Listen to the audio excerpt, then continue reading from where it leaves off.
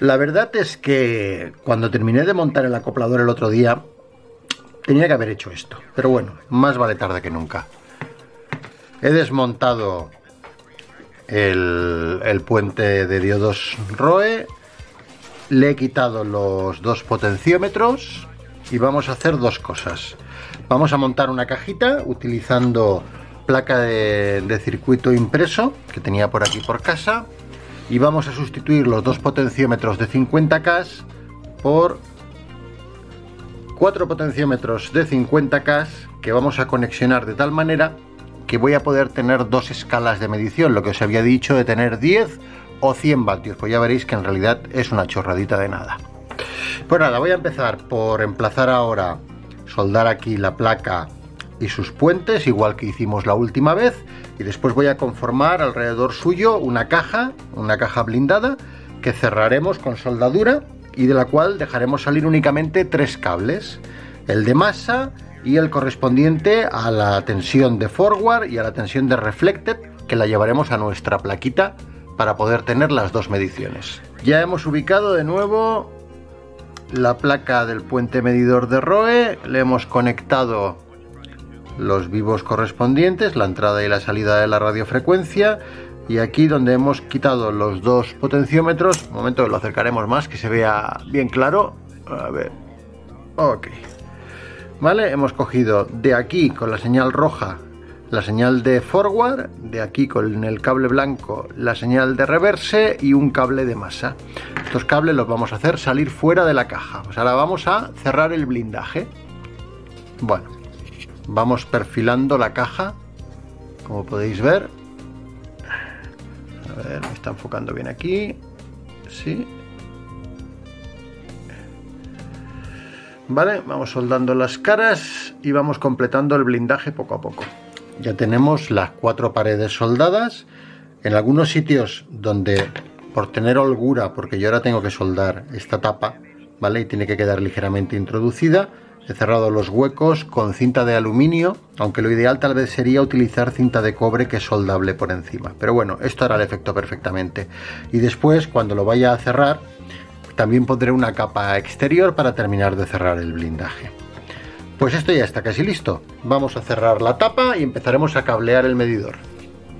Bueno, pues ya hemos completado el cierre. He cerrado además las esquinas con un poco de cinta de aluminio donde había un poquito más de hueco y el resto está completamente cerrado por todas partes y soldado. Por lo tanto tenemos una caja aquí blindada. Esto ahora lo vamos a emplazar de vuelta al acoplador, perdón, al acoplador, al medidor. Vamos a sustituir este cuadro de aquí y vamos a realizar el cableado que ahora os explicaré.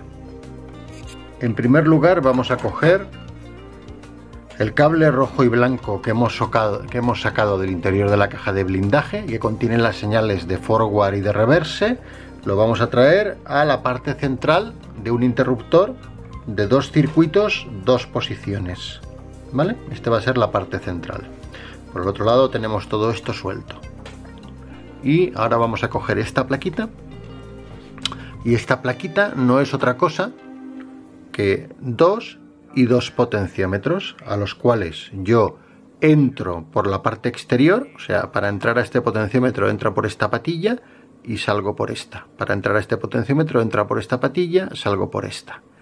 Y las dos salidas van al cuadro de medidas, una a cada uno de los cuadros. De tal manera que estos dos potenciómetros de aquí corresponden, pues por ejemplo, a la medición de directa y estos dos de aquí a la medición de reflejada, pero en distintas escalas de potencia.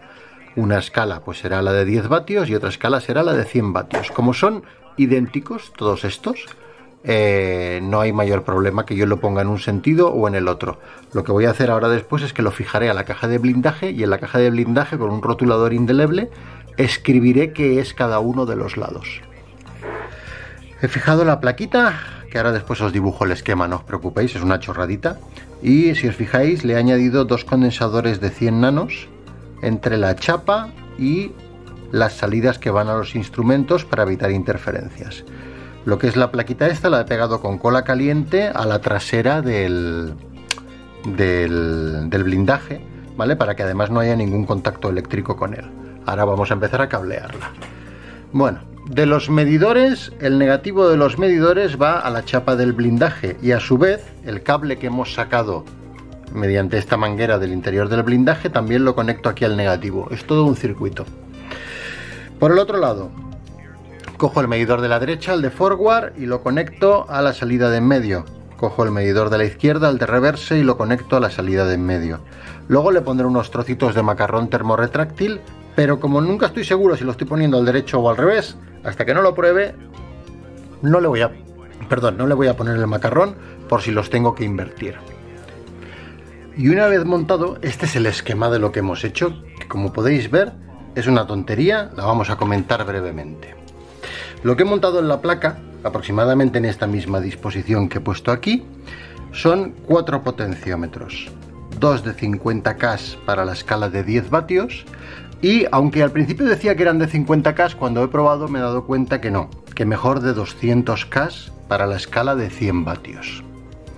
Bueno, yo lo que hago es que llevo eh, los dos cablecitos que salen de la placa de los toroides los llevo primero al interruptor y del interruptor los traigo o a la parte de 10 vatios o a la parte de 100 vatios, ¿vale? O sea, entro 10 vatios, 100 vatios forward, la directa, reverse, la reflejada.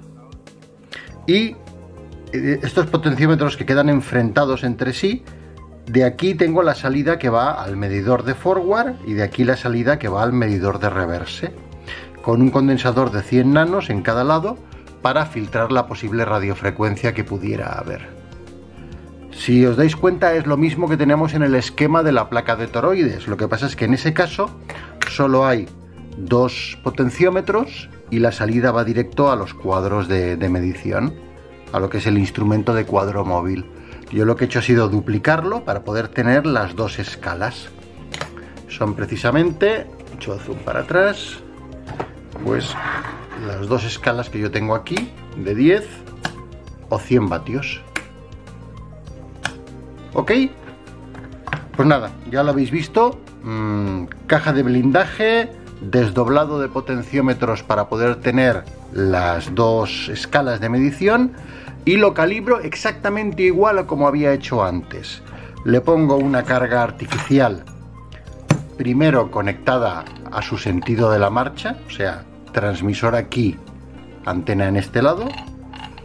Transmito, lo pongo el interruptor a 10 vatios, transmito a 10 vatios y ajusto los potenciómetros de la zona de 10 vatios de directa.